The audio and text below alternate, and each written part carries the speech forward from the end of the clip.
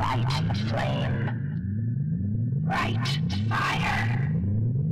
Red is the color of desire. Light the flame. Bright the fire. Red is the color of desire.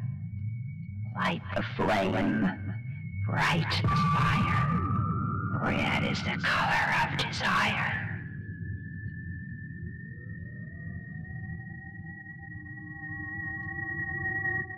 Well, I think a great deal of the witchcraft that the public is involved with and that they see is really just a form of perversion, sexual perversion on the part of the participants. I don't think it has anything to do with witchcraft. Where is the true witchcraft? I think the true witchcraft stems back into uh, the Dark Ages when uh, man was very much involved in trying to um, assert himself in his environment and uh, the witches of the past were involved in helping people with uh, medicinal uh, activities, herbs, and so on. I think that's what true witchcraft is. You described yourself as a rational witch. Well, as rational, I think, as any creative individual can hope to be.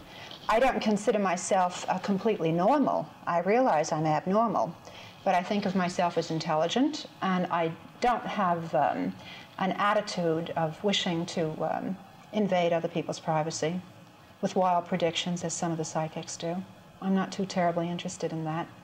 Unfortunately, if you're in the public eye and you don't make predictions, you're considered a phony. You can be psychic as hell all of the time, but if you don't make a prediction about an earthquake or who's going to be the next president, you're not um, you're not running out front. You've written several books which have been very successful, and now you have a record album out about uh, seduction through witchcraft. Yeah. This mm-hmm. seems to be very profitable field. Oh, it's very profitable for me, but then I think I probably would have had um, a good vocation if I was a witch or not a witch. You know, it doesn't really matter, does it? If you write, you write. Being a witch is a personal thing for me. It's the way I live my own private life. It's the way I attack my problems, my situations, my involvements.